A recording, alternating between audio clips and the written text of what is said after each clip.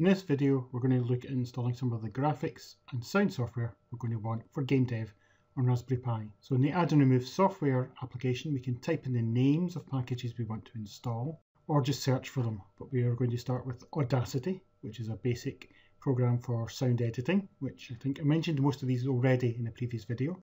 GIMP is our kind of Photoshop replacement image editing package. And for most of these, we're also adding in some data files and some of the extras that are available. But we can look through and look at the descriptions of all of the programs and decide whether or not this is going to be something else we want. Inkscape is a vector graphics program, so that's also very useful, a different style of graphics from the bitmap graphics of Photoshop, for example.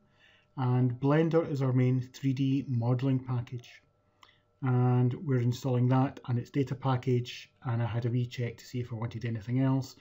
We can always go back and install these other options later if there is anything else that we want. That'll do for now.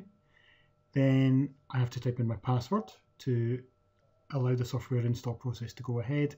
And this bit does take a little while, so this is your good option to go away and make a cup of tea or a cup of coffee, get a quick snack and come back after it's spent its time installing all of that.